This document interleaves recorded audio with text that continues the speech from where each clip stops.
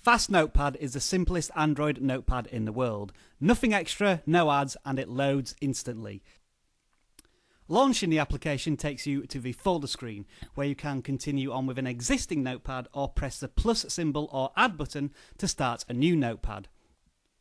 And that's your screen a keyboard and a white space. Type what you want. You don't underline it, change the colour of the letters, adjust the font, or insert pictures. This is a notepad. The one quirky thing you can do is chuck in a few emoticons.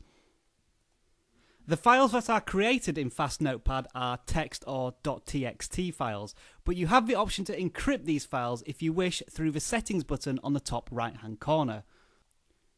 Any Notepad files you do encrypt will appear in green text on the Notepad selection page and will have a green background when you're editing the Notepad file itself. The folder page gives you a few options to create folders and manage the notepad files you currently have, such as deleting them, copying them, or moving them to a different location. So it's a completely self contained application. All the options in Fast Notepad can be accessed either through the settings button in the top right hand corner of the screen or long pressing on a notepad file itself.